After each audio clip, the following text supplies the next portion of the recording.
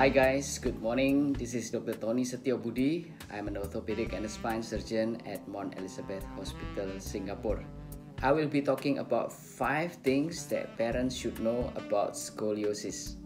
Just to tell you briefly about scoliosis, this is our spine and if we see it from the front or from the back, it should be absolutely straight.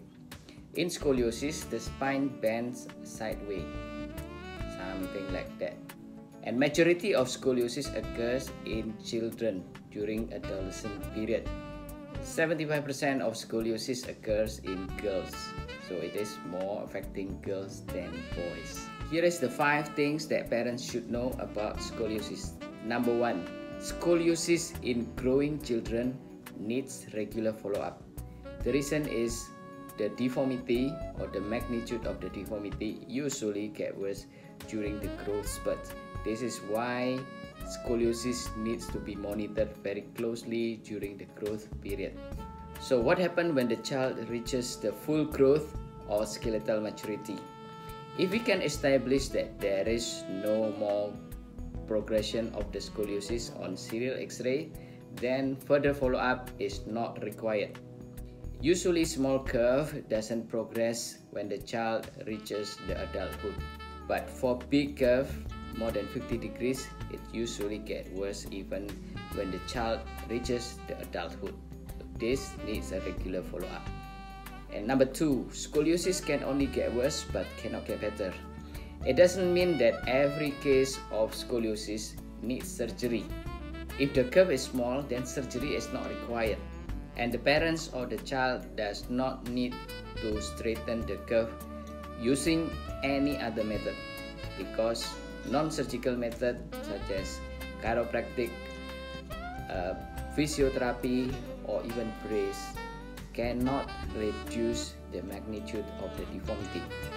So when the curve is small, you don't need to waste time and money to try to straighten the scoliosis. And number three, scoliosis is not caused by carrying heavy school bags or by any sporting activities. This type of scoliosis in adolescent is called adolescent idiopathic scoliosis and the word idiopathic means there is no cause or the cause is not known. This include carrying heavy things and sporting activities do not cause scoliosis. Although carrying heavy backpack or school bags are not so good for the spine, but this is not the cause of scoliosis. And number four, having scoliosis does not mean that the child needs treatment. Only about 30% of all scoliosis requiring bracing and about 10% require surgery to correct the deformity.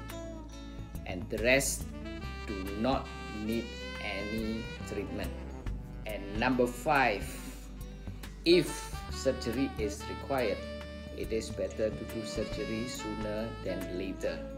This is because when the deformity is smaller, it is easier to correct and the risk of surgery is lower than if the surgery is done in a very big curve. So it is important to do surgery early than later if it is required. I hope you all find this information useful. And if you like this video please click like for me and subscribe. And you can share this video to your friends. And see you again in my next video. Bye bye